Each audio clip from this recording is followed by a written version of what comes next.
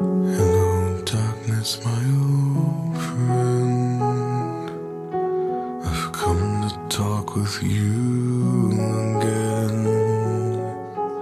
And the vision that was planted in my brain still remains within the sound of silence.